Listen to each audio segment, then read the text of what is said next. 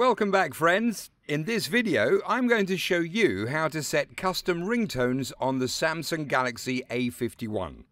First, go to Settings. Here you'll find Sounds and Vibration. Now tap on the ringtone. The Galaxy A51 has the option to select different ringtones for each SIM card.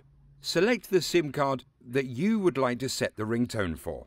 For example, let me choose the SIM 1. On this page, you'll find all the preloaded ringtones. You can choose the one which you like. If you want to set a custom MP3 song as a ringtone, then tap on this plus sign. If you're using this for the first time, then you'll need to allow the sound picker to access your media files. Here, you'll find all the media files which you can use as a ringtone. Select the tone and tap Done. The ringtone is set. Similarly, you can set the ringtone for SIM2 as well. You can also set different notification sounds for SIM1 and SIM2. For that, go to the notification sound. Select any of the preloaded ringtones. Similarly, you can set a notification sound for the SIM2. If you want to enable vibration while ringing, then enable the option Vibrate while ringing. If you wish to enable or disable the sound system, go to System Sound enable or disable the sound options here.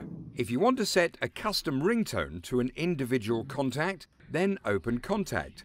Here, select the contact for which you want to set a custom ringtone.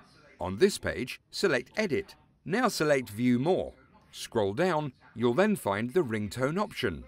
Tap on it. If you're using this for the first time, then you'll need to allow contacts to access your media files.